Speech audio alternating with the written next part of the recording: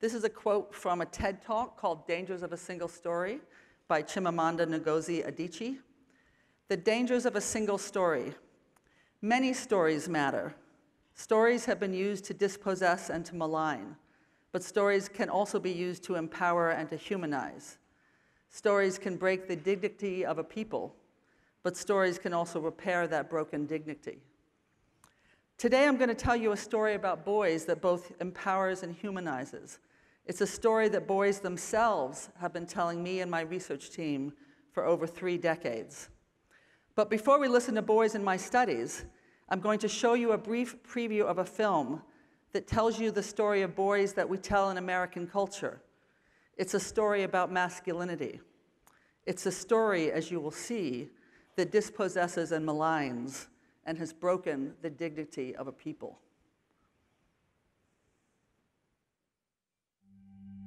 Stop crying. Stop with the tears. Don't cry. Pick yourself up. Stop with the emotions. Don't be a pussy. Don't pussy. let nobody disrespect you. Be cool and be kind of a dick. Always keep your mouth Nobody shut. likes a tattletale. Bros come before hoes. Don't let your woman run your you life. a bitch. What a fag. Get laid. Do something. Be a man. Be a man. Grow some balls.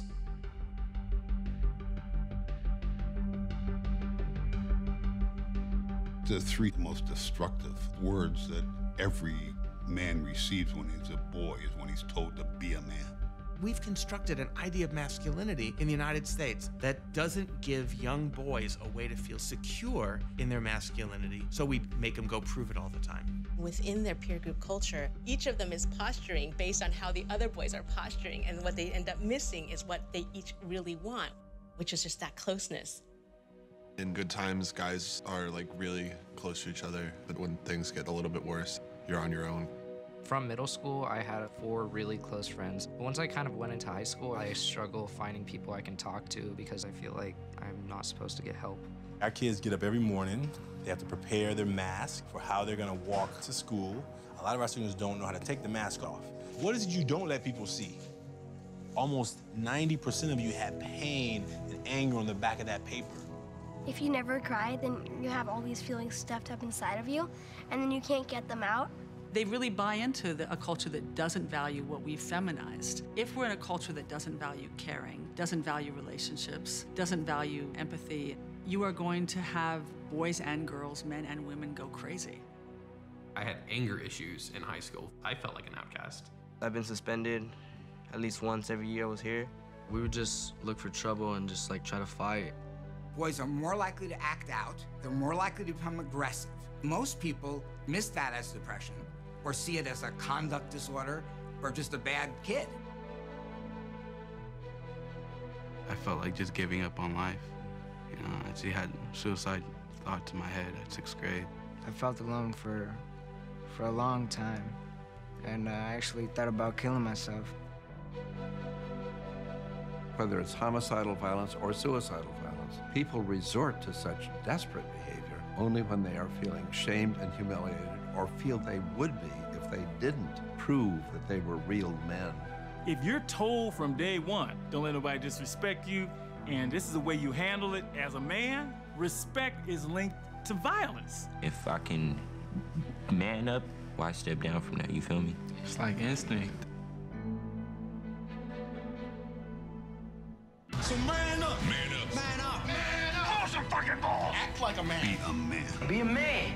For my kids, I was gonna end this hyper masculine narrative here.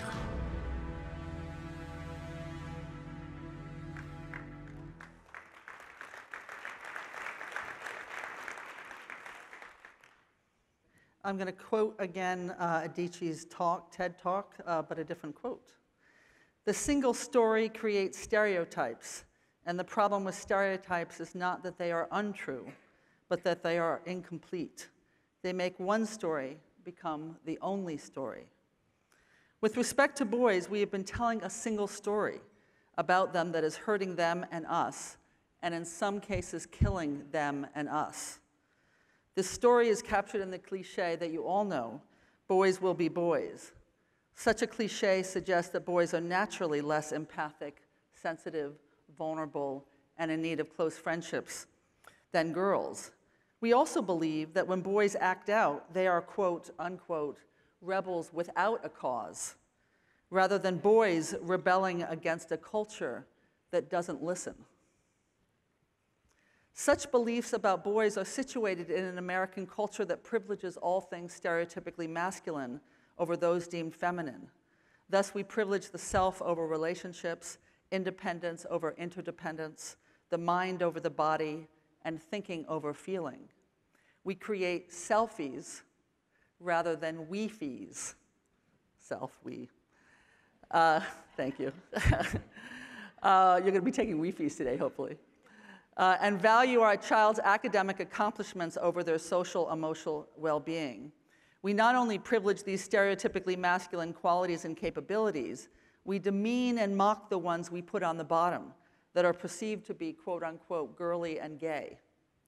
American culture and its myths about boys has led to a crisis of connection among boys and young men, in which they are increasingly disconnected from themselves and each other, the consequences of which are, in the high, are seen in the high rates of loneliness, suicide, and violence among boys and young men. Yet, when my, uh, yet my research teams and I have listened to boys from early to late adolescence for the past three decades, and we've heard a very different story. In fact, we've heard a five part story from boys. The five part story, can you see that? Yeah. The five part story uh, that I've heard from boys, you're going to hear it today from boys themselves. The first part of the story that they tell us in their interviews is who they are as humans. Uh, and you'll hear about them in a second. The second part they tell us about is the clash between their nature and our culture. The third is the crisis of connection that comes out of that clash between their nature, our nature, of course, and culture. And then the consequences of that crisis. And finally, the solutions, which is going to be the focus of our panel today. So, before we continue, let's, uh, this is the, the five part story is told in this book, The Crisis of Connection. It's here at the conference. We're giving out free copies, by the way.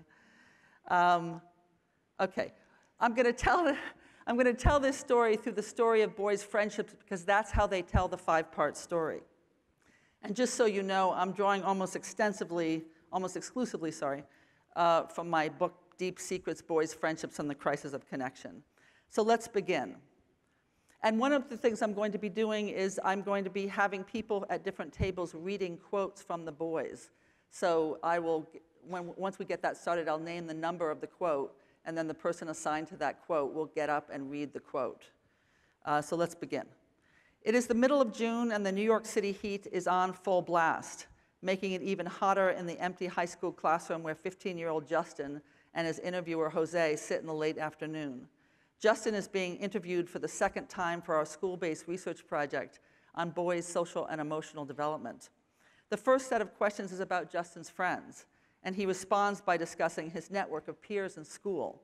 Turning to the topic of close friendships, he says, My best friend and I love each other. That's it. You have this thing that is deep, so deep it's within you, you can't explain it. It's just a thing that you know that that person is that person, and that is all that should be important in our friendship. I guess in life, sometimes two people can really, really understand each other and really have a trust, respect, and love for each other. It just happens. It's human nature. Listening to boys, particularly during early and middle adolescence, speak about their male friendships is like reading an old fashioned romance novel where the pro- female protagonist is describing her passionate feelings for her man. At the edge of manhood, when pressures to conform to gender expectations intensify, boys speak about their male friends or wanting male friends with abandon, referring to them as people whom they love. 85% of the hundreds of boys we've interviewed throughout adolescence for the past 30 years suggest that their closest friendships, especially those during early and middle adolescence, share the plot of love story more than the plot of The Lord of the Flies. Boys from different walks of life greatly valued their male friendships and saw them as critical components to their emotional well being, not because their friends were worthy opponents in the competition for manhood, but because they were able to share their thoughts and feelings, their deepest secrets, with these friends. When you listen to boys talk about their friendships from early to late adolescence, you hear three themes. The first theme is shared secrets. And now I'm going to have people read quotes. Matt, why don't you start with slide uh, with uh, quote number two? Hector says at the age of 14, go ahead. I've got two best friends, Willie and Brian. Like sometimes when me and Willie argue, me and Brian are real close. Then when me and Brian are not doing so good, me and Willie are real close. It's like circles of love. Sometimes we're all close. Lily, uh, go ahead. Raphael says at the age of 15, I want you to pay attention to the ages uh, when I say them. Raphael at the age of 15 says, My ideal best friend is a close, close friend who I could say anything to. Because sometimes you need to spill your heart out to somebody and there's nobody there. And if there's nobody there, then you're going to keep it inside. Then you will have anger. So you need somebody to talk to always. Paul says at the age of 15, Ashanti, go ahead. We were real close. Nothing could get in between us. Like, if I disagree, he'll know why I'm disagreeing. Not just because I'm disagreeing. He'll be up to my level. He knows what I'm about. Like, he knows. Like, even sometimes when I sit at home, he knows what I'm thinking. Like, we already know each other. Like, if we came out of the same belly. Michael says in his freshman year, quote number five, My best friend could just tell me anything, and I could tell him anything. Like I always know everything about him. We always chill, like we don't hide secrets from each other. We tell each other our problems. When asked to explain why he feels close to his best friend, Kevin says, quote number six, If I'm having problems at home, they'll like counsel me. I just trust them with anything, like deep secrets, anything. Carlos, a sophomore, says, quote number seven, It's like a bond. We keep secrets. Like if there is something that's important to me, like I could tell him and he won't go and make fun of it. Like if my family is having problems or something. While boys spoke about loving to play basketball or video games with their friends, the emphasis was always on talking together and sharing secrets with their best friends, and, and was how boys defined a best friend. And betrayal of this confidence was the primary cause of, get, of, of terminating a close friendship. Boys indicated that the intimacy or the sharing of secrets in their friendships is what they like most about the friendship. In his junior year, Alessandro says, quote number eight, What I like most about my best friendship is the connection. It's like, you know how you know somebody for so long, you could talk about anything, and you won't even think, oh, what are they thinking? You just talk. MJ says what he likes most about his friend is, quote number nine, Yeah, because my best friend is like a second person you could speak to. It's like, see how the kids carry a little teddy bear or whatever, and when they cry, they'll hold it and stuff. So when like you get upset or something, you just walk over to your closest friends and they'll loosen. They'll loosen up whatever. They'll be like, "Yeah, it's all right," even though it's not. So interesting MJ recognizes both the safety that a friend provides, but also the way boys cover over and tell stories that they know aren't true. The content of boys' secrets varied considerably, and the term secrets was often used interchangeably with problems. Problems were always secrets, but secrets weren't necessarily problems. Andy sa- makes distinctions between secrets when talking about the friends whom he doesn't trust and the friends he does. Quote number 10. I mean, I can like joke around with my friends who are not close. And like if I'm having trouble in my classes, like if someone knows the subject better than me, like I'll ask them. Like, yeah, it's pretty much like that. Not too deep though. I wouldn't tell them my two secretest things. Not too secretive. Yeah, like about a girl or something. I mean, that's the deepest. Nothing deeper than that, though. With my best friends, I will tell my deepest secrets. The content of regular or not too deep secrets range from crushes on girls to girl related topics. Really, really big secrets or secretest things were almost always related to conflict in the home or on occasion coping with disabilities or drug abuse of a family member. Ethan admits that it's good to have a best friend because, quote, sometimes like you don't want to tell your family members because it's probably about them. And you just tell your friend and they'll keep a secret and help you. The second theme that we hear when listening to boys talk about friendships is they make explicitly the link, and this is so important for this audience, they make explicitly the link between having friendships and mental health. Boys not only had intimate friendships and wanted them if they didn't have them, but they believed that this intimacy is essential for their health and well being. Stephen says in his freshman year, and now I, what I'd like you to do is just listen to the quote without seeing it written up there. So I'm going to read them and just get into the voices of boys. Stephen says in his freshman year, You need friends to talk to sometimes. You know, like you have nobody to talk to, you don't have a friend. It's hard. You got to keep things bottled up inside. You might just start crying or whatever. Like if a family member is beating on you or something and you can't tell a friend, you might just go out, just, you know, do drugs, sell drugs, whatever. Alan says in his junior year that he needs, quote, someone to talk to, like you have problems with something. You go talk to him. You know, if you keep it all to yourself, you go crazy. Try to take it out on someone else. Another boy concurs, saying that without friends, you will go crazy or mad or you'd be lonely all the time, be depressed, you'd go wacko. Kai says bluntly at the age of 14, quote, my friendships are important because you need a friend or else you'd be depressed, you won't be happy, you'd try to kill yourself because then you'd be all alone and no one to talk. When asked what it would be like if you had no one to talk to, Lee says, then it's like I always think like bad stuff in my brain because like no one's helping me and I just need to keep it all, all my secrets to myself. The third theme that we heard, third and final theme, is the crisis of connection, which you begin to hear as boys move, transition into middle to late adolescence. As boys enter late adolescence, however, they do begin to sound more like masculine stereotypes. They begin to talk less and rarely speak about love when it comes to their male friendships. They also start using the phrase, and they still use this phrase in case anyone thinks that this is outdated, it's not. Uh, no homo, following intimate statements about their friends and tell us that they don't have time for their male friendships, even though they continue to express strong desires for having such friendships. They begin to say such things as, quote, it might be nice to be a girl because then you wouldn't have to be emotionless. In response to a simple question regarding how their friendships have changed since, since, uh, since they were uh, freshmen, Justin describes how his friendships, sorry, Justin describes in his senior year how his friendships have changed since he was a freshman. And Justin, you heard in that very first quote about human nature, I'm going to read you four years later, the same kid. When asked about his friendships, he says, I don't know, maybe not a lot, but I guess the best friends become close friends.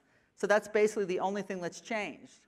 It's like best friends become close friends, close friends become general friends, and then general friends become acquaintances. So they just, if there's a distance, whether it's, I don't know, natural or whatever. You can say that, but it just happens that way. Michael says, like my, my friendship with my best friend is fading, but I'm saying it's still there. But so, I mean, it's still like, because we still do stuff together, but only once in a while. It's sad because he lives only one block away from me and I get to do stuff with him less than I get to do stuff with other people who are like way further. It's like, I it's like a DJ used his crossfader and started fading it slowly and slowly and now I'm like halfway through the crossfade. Hector says, do you, uh, when asked, do you have a closer best friend this year? Hector says, not really, I think myself. The friend I had, I lost it. That was the only person I could trust, and we talked about everything. And when I was down, he used to help me feel better, the same I did to him. So I feel pretty lonely and sometimes depressed because I think that, that it will never be the same, you know. I think that when you have a real friend and you lost it, I don't think you find another one like him. That's the point of view I have. I try to look for a person, you know, but it's not that easy. Late adolescence for the boys in my studies is a time of disconnection from the relationships that they hold so close to their hearts. Rather than simply being a period of progress, adolescence for these boys is also a period of loss. As their bodies are almost fully grown and their minds are increasingly attuned to cultural messages about manhood and maturity, boys begin to distance themselves from the very relationships that they relied on previously so they wouldn't go wacko. Boys know by late adolescence that their close male friendships and even their emotional acuity put them at risk of being labeled girly, immature, or gay. Thus, rather than focusing on who they are, they become obsessed with who they are not. They are not girls, little boys, nor in the case of heterosexual boys are they gay. In response to a cultural context that links intimacy in male friendships with an age, a sex, female, and a sexuality gay, these boys mature into men who are autonomous, emotionally stoic, and oftentimes isolated. The ages of 16 to 19, however, are not only a period of disconnection for the boys in my studies, it is also a period in which the suicide rate for boys in the United States rises dramatically and is the age at which many of the mass shootings have occurred across the country. So, just as boys predicted, not having friends to share their deepest secrets makes them go wacko. So, the solutions to the crisis lie in reimagining boys for who they are rather than how we stereotype them to be. Once we ima- reimagine them as needing friendships as much as all other humans, and as being as sensitive, empathic, and as vulnerable as all other humans, and we see that they are both thinkers and feelers and have minds and bodies, we free them to see their own humanity as well as the humanity of others. Thank you.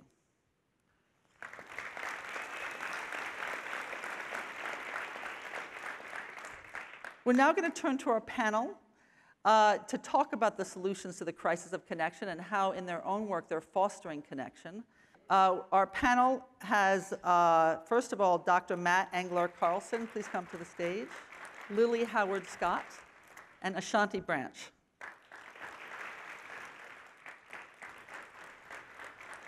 Okay, we're going to start with a question from Matt. Actually, we're going to introduce introductions first. Sure. Matt, why don't you why don't you introduce yourself first, Matt, and then Lily, and then Ashanti. Okay, great.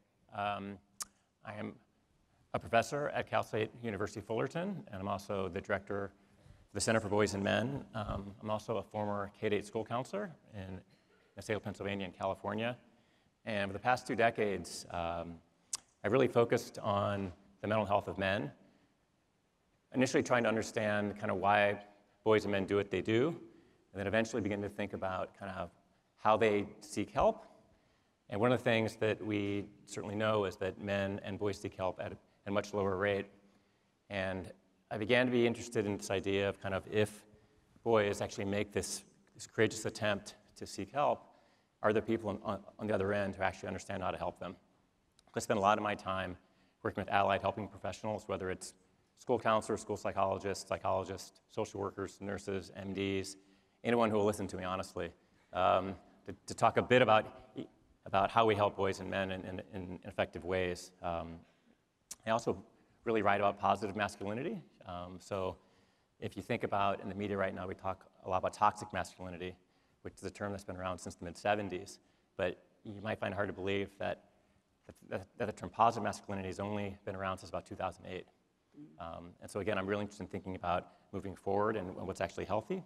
Um, I do a lot of relational work with men and, and, boys. I know if I get them in a room and together, um, I know great things will happen. Because um, I know that, that boys and men crave close connection. Um, and, and most recently, I worked on uh, the American Psychological Association's guidelines for psychological practice with boys and men. Thank you. Yeah. Thank you very much, Matt. Lily? Good morning, all. I'm Lily, um, and it's just so special to be here with all of you who believe deeply in the value of social and emotional learning. Um, I am a third grade teacher and a curriculum developer based in Washington, D.C. And my greatest priority as an educator is helping uh, children learn how to connect with themselves and how to connect with one another. And I attempt to do this by weaving a focus on emotional literacy. In other words, you know, the ability to name, manage, express emotions, to empathize with the emotional experiences of others. I, I, try to weave this work into the academic curriculum. I believe that they can have a symbiotic relationship and really go hand in hand. And you know, I also believe that in an increasingly diverse and collaborative world in which we need to study and work alongside those um, who are not like us and who we might be tempted to otherize it is more important than ever that we empower teachers with the permission and the professional development to help children learn how to navigate their inner lives and share about their inner lives. Uh, so that they discover that truth, which many of us grown-ups are still grappling with. Um, you know, the notion that what we think alienates us from one another, our vulnerabilities, our insecurities, it's really all that that connects us most deeply to each other. Um, and children who understand that and who celebrate all that they have in common, um, who can normalize naming and managing their anxieties, they operate with resilience and empathy, and they are, you know, compassionate souls and natural leaders. And I, I have found in my experience working with eight and nine-year-old boys that they are um, so ready to operate that way. They are itching to talk about their feelings. They are itching to connect with one another. And getting into that habit very early on um, can work wonders for them now and uh, work wonders for the, the men who they grow up to be and work wonders for the rest of us who, who work with them and who, uh, who care, with, care for them. Thank you. Ashanti. Good morning. You know, um, my name is Ashanti Branch. I'm from Oakland, California. Uh, I was, uh, my stories began raised by a single mother on welfare, and I had no father growing up. So I had to learn masculinity from a mother who did her best, who didn't know how to be a man, but tried to teach me how, and then from people in the streets who said, here's what the rules are of being a man. And sometimes there were a lot of conflicts. Um, when I became an educator, I started off as an engineer. Um, I never wanted to be a teacher because teachers don't make money. and um, I grew up poor, so I was like, I'm not going back there again. Um, but when I became a teacher, teaching called me. And the first year teaching, I was failing. I was doing a horrible job with young men who were smart, who were sitting in my classroom every day. And I was like, why are you failing my class? Like, I'm, I'm here for you. I'm, I'm not here for this check, you know? Um, and what I learned from those young men was that, you know, school and the community that I grew up in or that I was teaching in, school's not cool. And so if you want to be cool and you're a young man, then you're going to act in ways that are cool. And if doing your homework and listening to the teacher are not cool qualities, you may not use those qualities. And so what we, and Ever Forward, what we, well, I started with lunch. I said, look, I'll buy you lunch once a week. In exchange for lunch, you teach me how to be a better teacher. Like, tell me what I'm doing wrong, because I think I'm smart, and I can tell you're smart, but we're creating failure. Like, you're failing my class.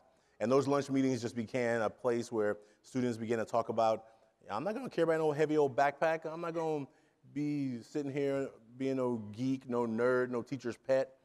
And I was like, but how are you to graduate? You know? And so we began to build this program where young people just talked about what they were going through. And a lot of the challenge they were having wasn't academic. It was all the other stuff that was in the way before they even thought about academics. They, they came to school to escape sometimes a life that was just not so positive. But what they got to do when Ever Forward is to recognize that the other young men were also going through stuff and they got a space to talk about it. And when we gave them a space to just kind of get real, then we began to help them break down the walls of how they were going to achieve the goals they had. And so that's the work that we got to do, and so what we've been doing uh, for the last uh, 15 years.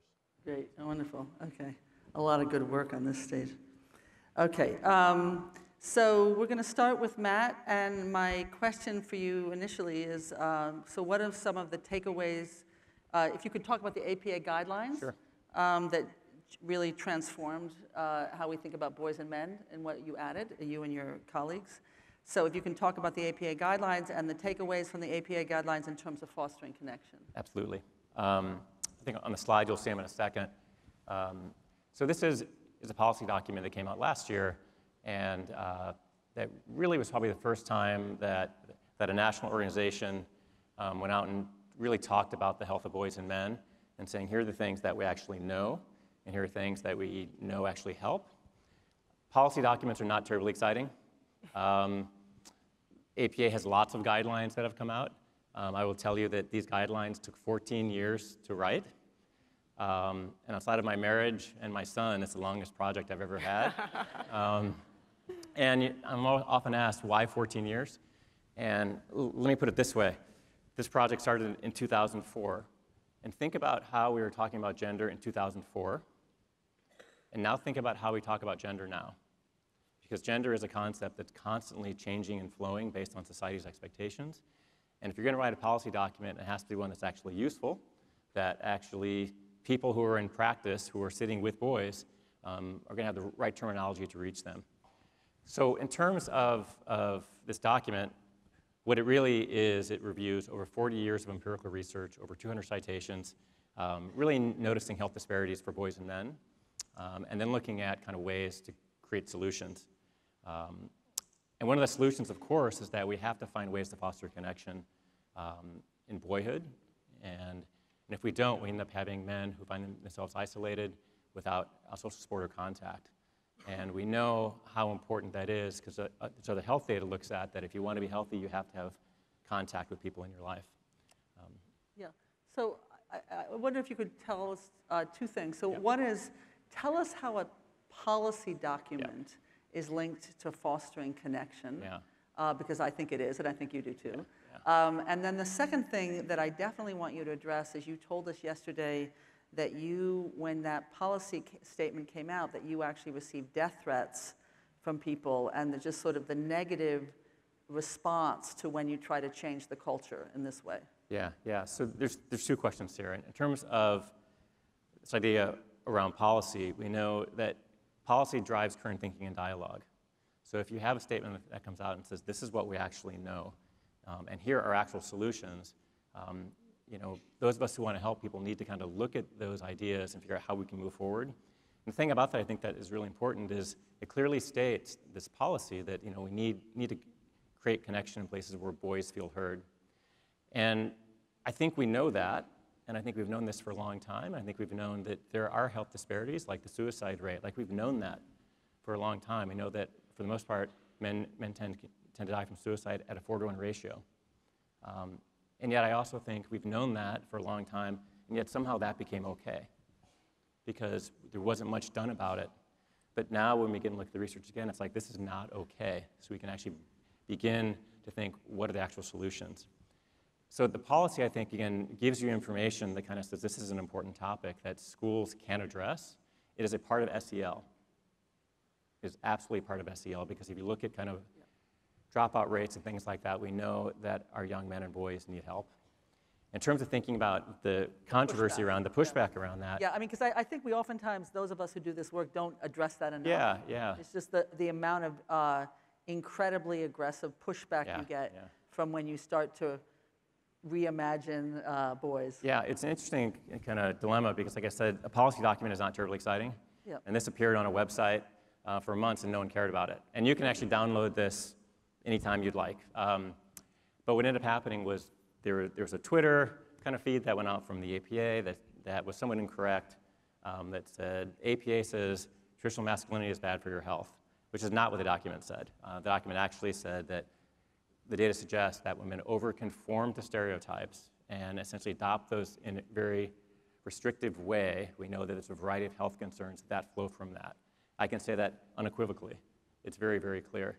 Um, but that's context, and, and that got lost. And so this got thrown into our current debate in politics with the left and the right. And at the same time, there's an ad uh, from Gillette that came out that also made a really clear statement about this. And so what ended up happening was, like I said, gender is political uh, whether you know it or not, that there's a huge defense to kind of push back against traditional norms and to protect them and say, you know, you're saying that men are bad. And the reality is that's not what we're, we're saying. So uh, in, in just a couple Yeah, seconds. yeah, I'll say real quick, Could you, so- could you just tell us what, then how should we respond as those of us doing that work and promoting these messages? Yeah, I- What, what would you give us? I'm, I think the biggest thing to think about is that we have to begin to understand boys ourselves, Mm. that we have to begin to look at our own stereotypes that we have about uh, the men and boys in our life. And then when we enter into settings where we, we encourage boys and meet boys, we have to kind of understand who they are. They're not men, they're boys, right? And they're looking for connection. So the stereotype says that maybe they're not, or, and they may show you uh, type of behaviors that that's a pushback, that they're not interested. But in, in a way, that's kind of a farce, right? Because inside there's something very, very different. And I, I- and I know Ashanti is going to talk about this, that what you see on the outside is not what's happening on the inside. Um, very clear. Okay, thank you so much, Matt. Um, Lily. Um, okay, so the first question is in your Washington Post article, excuse me, in your Washington Post article, which I loved, about emotional literacy in boys, you discussed the ways you found that boys in your elementary classroom were eager to discuss their emotions and surprised to learn that the feelings they assumed were uniquely theirs were in fact universal. So I'm wondering, and of course that is consistent with the findings we have too, um, can you share an example of, of that happening? And also, it's really, I would love to hear from you how you think that sort of recognition that I'm actually normal, Mhm. and this is normal, um, builds connections. Yeah, absolutely. Um, I think of a very special group of, of third graders who I learned so much from. Um, primarily, that, that one student's bravery can trigger an avalanche of vulnerable sharing um, from peers. The elementary school teachers in the audience might be familiar with a particular author, Patricia Polacco, who um, writes books about her learning variation, about being dyslexic. And I recall a young girl, um, after, after we read aloud a couple of Patricia Polacco books, said that she wanted to share with the class about her dyslexia and about the assumptions that she thinks other people make about her. She wanted to share about the strengths associated with dyslexia, that she can think outside the box, she's a creative person. And her share inspired a little boy, Max, who wrote a poem called Disabled, to ask me if he could share with the class about um, his struggles to see and about how just because he, he has difficulty um, seeing things clearly, you know, that, as he says, that doesn't mean that he's never been a good student. And it was Max's share that really um, inspired so many other boys to be deeply vulnerable and, and open up themselves. We, um, uh, I facilitated this sharing protocol, or rather a feedback protocol, while Max was sharing his poem, and all the students wrote down notes of encouragement and connection on these little pieces of paper, and I stapled them together, um, and it, it became a sort of book of support for, for Max to always hold on to. And what the boys wrote was pretty remarkable. One boy wrote uh, him, I never knew that people bullied you just because you're disabled. P.S. I am disabled.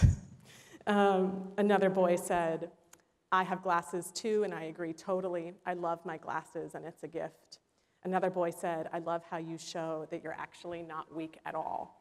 And before long, so many students were itching to share about elements of their inner lives that had previously remained hidden.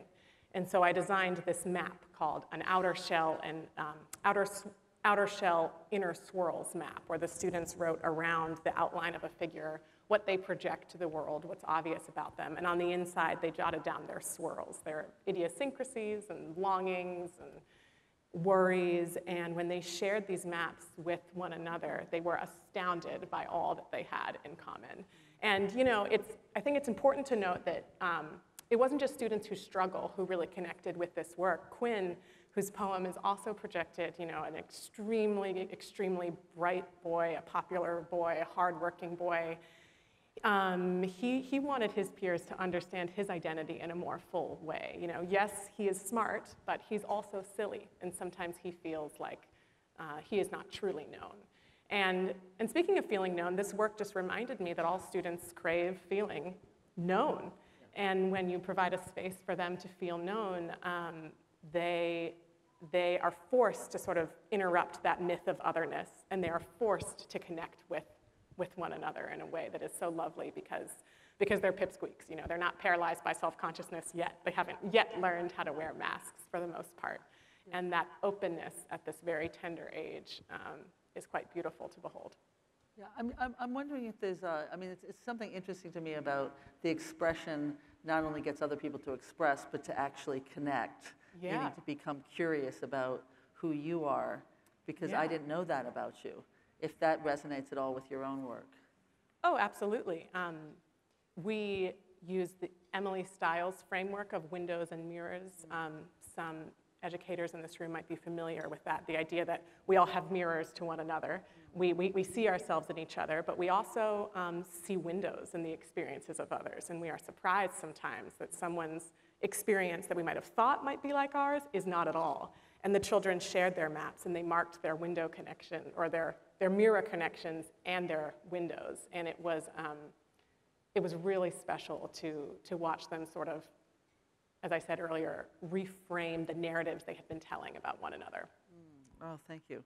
And an- uh, my other question, my final question is, um, there's, you know, in most classroom settings, social emotional learning is, tends to be siphoned off from the academic curriculum. Yes. Um, and we've worked really hard in the listening project, which I'll talk about shortly, to make it a part of the everyday Yeah. curriculum, so it's not seen as a, as tangential to learning. And I know that everybody agrees with us here. Uh, but I'm curious on your thoughts, if you could just Oh, add yeah. how you've done that and. I mean, we teachers cannot handle one more curriculum that is handed to us. um, And I'm sure many in this room can relate to us. And I think this work is so much more powerful when it's, it's all blended together. And so I think particularly when it comes to language arts instruction, there are just so many ways um, to foster introspection, um, introspection and, and vulnerability. Um, you know, analyzing characters deeply helps us analyze ourselves. Writing about experiences or emotions that are complicated helps us better understand them. So, so how can you do this? Well, um, if you have a reading workshop in your class, you might design a, a reading response for students in their reader's notebook that um, asks them to sort of track the internal emotional journey of a character, and that helps children develop their own emotional vocabulary. I love to do something called spotlighting during read alouds, where I point to a student and he or she embodies a character in a moment of tension and um, sort of shares an improvised in interior monologue, which of course helps that child exercise the muscle of imagining somebody else's experience. Um, there are personal narrative brainstorming strategies that help students reflect on moments when they felt conflicting emotions.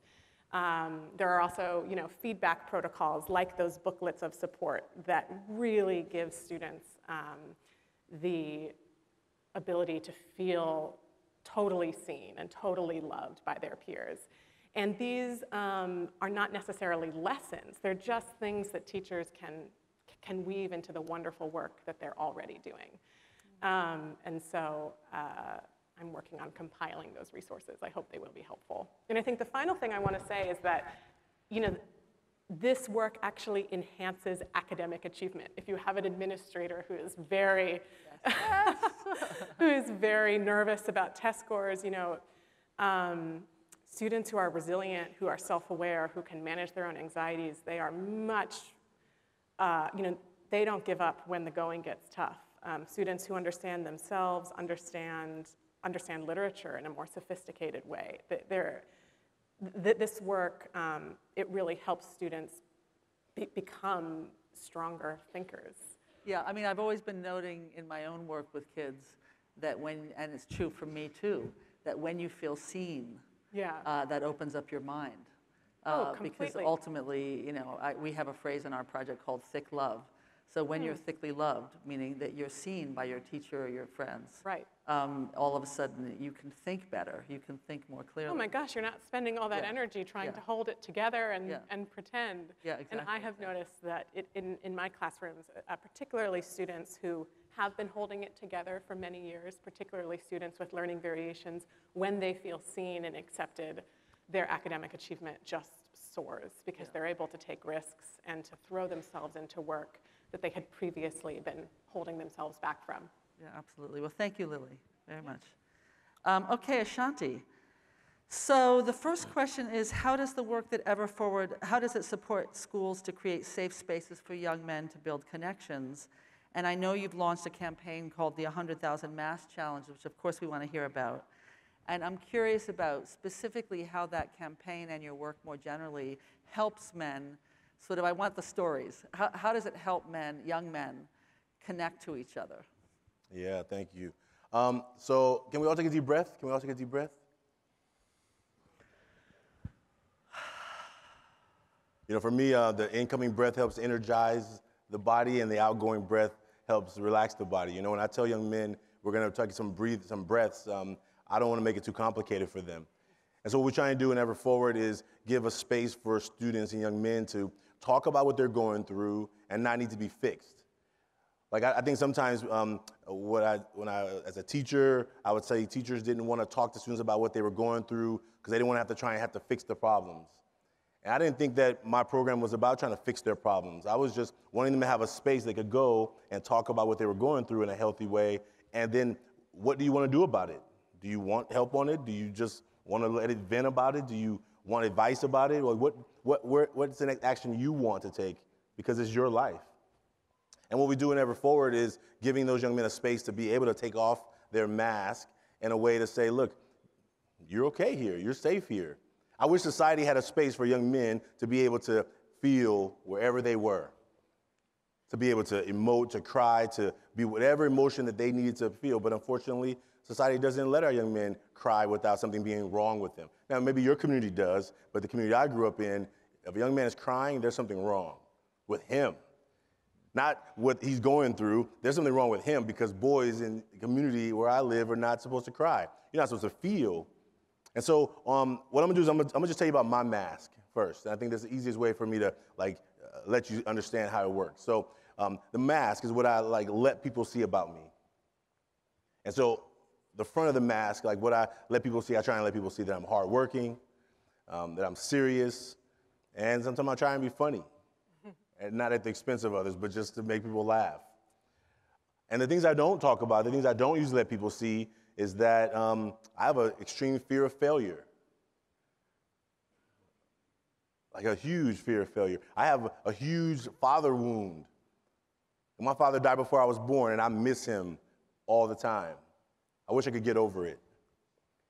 And as a child, I was abused in lots of ways. But oftentimes, I don't have places to talk about that. So I talk about being hardworking and how hard I work. I'm, I'm, I'm gonna introduce you to two young men who I met yesterday. And on the tables on the front of you, there's some cards when you can make your own mask. Actually, I invite you to, at some point between now, between now and you leave, to make your own mask. But I'm gonna introduce you to two young men. This one young man said, um, These are the things I show the world, the front of the mask. It says, funny, easygoing to an extent, and intelligent. And the back, he said, impatient, stressed, and confused 24 7. This is a 16 year old boy here in Chicago. And this other young man, which uh, you'll find interesting, his mask looks very different, um, but this is what he says on the front. This is what I show the world. I'm a jokester, funny guy, the bad one, evil and rude, always in trouble. And on the back, the things that he doesn't let people see philosophical, artistic, poetic, creative. So imagine that there's people who show one thing and there's other things going on. Maybe you yourself know about your own mask. Maybe you haven't explored it. Um, I definitely encourage you to do that. But what we what we be able to see, what we're able to see with young men all over the country and definitely different parts of the world through the masks is that um, I think we're more alike than we are different. We have more in common than we we really recognize. That there's so much more going on to us than people could ever know just by looking at us. And with our boys, when they know that people won't accept their poetic, artistic side, then they show up as rude and angry and the bad one and the one who's always in trouble. Or they just do what you want them to do. They acquiesce to being kind and nice and funny and easygoing when deep down they're dealing with some sadness and fear and other things in their life that they don't get to talk about. I think we use our masks. I don't think masks are bad. I don't tell people masks are bad. But I know our young men use them to, for protection, for safety, for fitting in. And I think the work that we've been trying to do with the mask is really how do we give young men a space that they can say, I'm, I'm okay. And if I'm not okay, do I have other people I can talk to about it and I don't have to pretend that I, that I am all the time? Yeah, yeah. yeah. Can, can, I want to ask you a question. So, um, it's also struck me watching you and knowing your work so well, and in my own classrooms too, is how easy sometimes when you create a safe space for boys and young men to take off that mask. And people always say, well, you know, even when they hear these quotes from my research, they say, how do you get boys to talk like that? Girls have said that, teenage girls says, how do you get boys to talk like that? Um, but, and I always say, we just ask the question. Um, and by asking the question, we create a safe space. We said, tell me about your friendships. And nobody had ever asked them about their friendships. So I'm curious about if you could reflect in your own work of, in some sense, you seeing the same thing, that it's, once you create the safe space, then what happens? Yeah. I mean, I, they, they, they'll tell you. I mean, I think these was yesterday. I did the same thing with, I asked them, write three steps. Draw a mask, write the three words on the front, what you let people see, and three words on the back of the things you don't let people see. Now, I started out by telling them a story of mine. I told them about myself. I wanted them to know that I'm human. I'm not, I wasn't standing in front of them as an expert on anything. I'm, a, I'm, I'm standing in front of you as a, as a man who was a boy who was trying to figure out what it meant to be a man, and there was no man around teaching me. And even though I had my grandfather around, other men around, they were telling me about other stuff that I didn't want to talk about. You know, and so when you ask them, when you give them permission to speak, now these are anonymous, right? So they get a chance to speak it uh, by writing it. And what you saw in the documentary, that was the first time we'd ever done it. I even gave them a mask. I didn't, even, I didn't know what I was doing. I was just trying something out. I gave them their, the mask. And only after, you know, evolving the program after a couple of years, we said, well, draw your own mask. What mask? And I don't care what you draw. It's not about the drawing. It's just about the activity. About like, I'm gonna willing to do your best. If you just give them opportunity to do their best. And I think everybody's best looks different. You know, I had an English teacher who, uh, when I was in school, I hated English. And she knew I hated English. And she didn't care. Like, but she saw me, and I would have did anything for her, not because I liked her class, but because I liked her. Because I knew that she, she saw me and she respected me, even though she knew I hated her class. I mean, I hated her material. I didn't hate her, Yeah, you know? yeah. No, I mean, I mean, I think that's interesting because because what you're helping us understand, Ashanti, is the meaning of safe space. Right. So that it's not just saying, which I, I've done in the past before, uh, mistakenly, of just saying, okay, now this is a safe space, you know, and assuming the kids are going to say, okay, sure. um, but that whole sense of the importance for you when you were seen by your teacher that that creates a safe space. She was not probably intending to create a safe space, but it does that in that relationship. If you want to comment on that. And I think it's- you have to be intentional about it. I think you have to be intentional to say, this is a space where I'm just going to be human with you. I think most times teachers don't are not seen as human by students. They see you in the grocery store, they're like, whoa, you shop? Yeah. They're like, what happened? right? You're like, I'm a human, right? Because they only see you in that one building. But if you let, my students knew, you know, hey, some days are good, some days are not. But, and my job is not to spill all my stuff on them, but say, hey, I'm human. Today I'm having a rough morning, so I need you to work with me, right? But if I'm always trying to pretend like I'm great and I know all the answers, then they're like, well, how can we ever uh, identify with you when you never make any mistakes? You never have any problems, exactly. right? And I think those are the challenges our young men sometimes face, trying to uh, connect to adults who never let them see that they're really human, that they're sometimes robotic in their connection. Yeah, okay, good. Um, we are we're a little out of time, but I want to make sure everybody gets exactly the right time equal to each other. So if you, if you want to just quickly add a couple th- thoughts about the reception of The Mask You Live In, you, you play a central role in that film. Um, and I assume you've been probably inundated with interest given that you sort of are star of that film. So do you want to have any comments or just quickly things that you want to say? Um, I just encourage if you haven't seen it, please watch it. If you if you have a son, if you teach young men, if you ever interact with a man in your life, I encourage you to watch the documentary. Um, I think it's really powerful. I think what we know is that um, the, the information in that documentary is really helping us recognize that our boys need more than just hoping that they're going to figure it out by just because. Like it, it, it takes nurturing, and I think that we've been nurturing feelings and kind of caring out of them. Our prisons are full of men. Our prisons are 2.4 million people in prison. 94% of people are men. I don't think men are that much that bad, but we teach men things when they're boys. Don't show any feelings. Suck it up. Be tough. Never show you how you feel. And then we wonder why they can be adults and create chaos and tragedy in their communities because we taught them when they were little, don't show any feelings. And so I think that it's, it's, naive to believe that they should know how to show feelings if they've never been taught and they've never been given permission to do it. And I think uh, that's something we have to work on as a society. And, and the documentary just has been really powerful, a tool just to get the message out in a really good way. Yeah, and I always say if we raise boys to go against their nature, why are we surprised when they grow up and act crazy? Yeah, right? yeah, I mean, so thank you so much. That was wonderful, all three of you. Thank you so much. That was a wonderful. So we are now ready for your questions. I'm going to read uh, the questions, and then I'm going to start with Ashanti gets to answer, and we're going to try to each answer. I think we're going to have three questions. Is that right? Uh, how can we bring an intersectional lens of race and maleness to our work? Ashanti, you start. So I, so I never get to not think about race and maleness, right? So I, I, I don't know how to, it's really hard to think about how to tell somebody else how to think about it when they may not experience it. And so um, I think I do a lot of asking questions. I think when I, when I work with other teachers, I'm like, ask questions. I, I never assume, I try not to assume anything. I try to like let young people speak from their perspective and I try and take it in even if I don't understand it. I try and just be a listener and I try and say, you know, can you explain that a little bit more? Or I just need to listen and I need to, I don't have a response right now. I, I just, I thank you for sharing what your thoughts are. I think one thing we have to do with definitely young men of, of in my experience, young men of color and in my work is that um, they don't want to be told how to think. Yeah. You know, I think if you ask them their opinion, let that be their opinion. And, and then to change, try and change their opinion, or you ask them what they think about something and then you rebut their, their, their, their thoughts about it, it really degrades and differently diminishes the, the thoughts. And so I think just being able to ask more questions, be more curious. I tell, I think there's a, uh, some books said, be more curious than, than your idea of being creative. And I think that's what I try and help educators think about. If you can just be curious, then young people will tell you what they want you to know. And if you don't understand, ask more questions. And so I think that's, for me, what I've always wanted educators to do. I, I've, I've rarely had educators of color. So when I finally had one, you were like, you didn't have to explain a lot of stuff. You're like, oh, you get it, you know? But other teachers, you have to explain, and then they don't agree it. You don't, they don't agree, and so I had to like re-explain my explanation. And so that's one thing I think that was helpful. Yeah, yeah, yeah. Go ahead.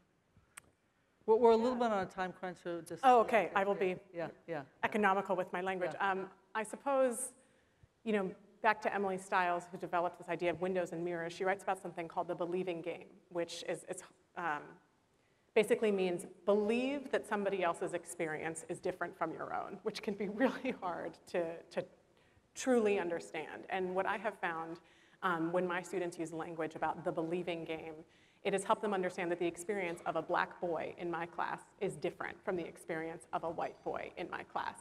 And sentences like, I believe that you experienced X in a different way from the way I experienced X has really helped um, them celebrate what is the same, yes, but also what is different. And, and that language has helped us tackle that intersectionality. Yeah, good, good. Um, I was thinking about that um, in terms of my work that, you know, I'm a scholar of men and masculinities, um, IES, not Y. And that's a change in how we talk about kind of what it means to be a man. And I think that I always start by saying that there are different ways of being a man um, based on who you are and where you come from. And I think we often have to kind of put that out there because if not, we have this monolithic idea that masculinity is all that exists, yeah. that there's this dominant form. And instead, you have to kind of say, we all know the dominant form, right? But very few of us actually subscribe to it. Hmm. And so there's permission given and kind of saying, help me understand who you are based on what you bring to the table. Hmm.